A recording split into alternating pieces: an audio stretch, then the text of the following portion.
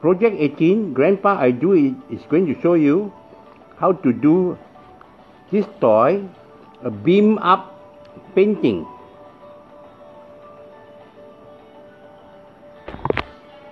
You need a transparent plastic, you need a black card, and you're going to paint with see-through acrylic. You're using a marker to draw up and a brush to paint to paint up. I'm going to do an ocean scene, so I, I do a drawing on a piece of paper and then I trace it onto the plastic with a marker pen.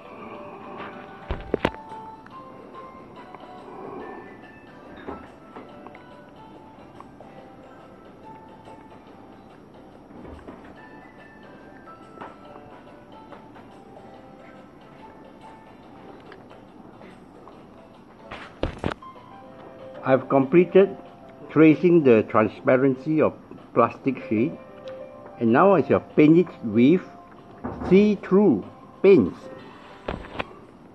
You are given only three colors so you have to learn how to blend the colors to get more colors. Now I blend the red, yellow and blue to get the brown so I can paint the ground.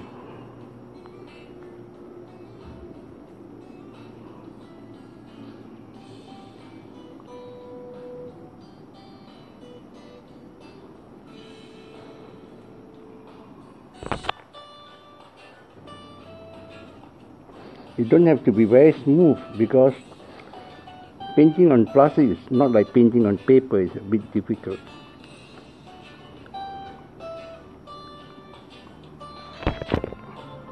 I've almost finished.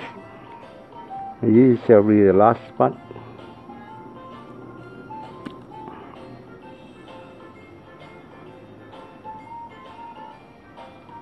Okay, done.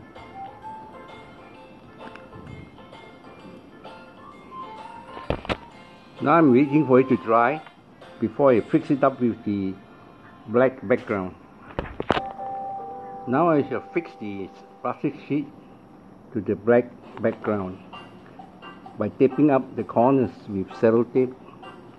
Tape here, tape here, tape at the corners. But we leave a gap here so we can insert the uh, flashlight, the beam. I've taped the three sides up. This side, this side, and this side. But this front side I leave open so I can insert the beam.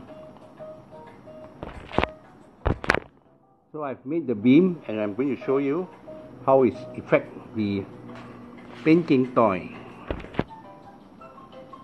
inside inside here. By moving the beam around, you can see the painting lighted up. You know, it's so beautiful. You enjoy playing with this toy.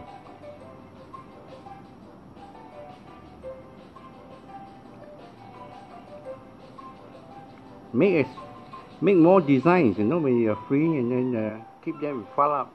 Make a collection of it.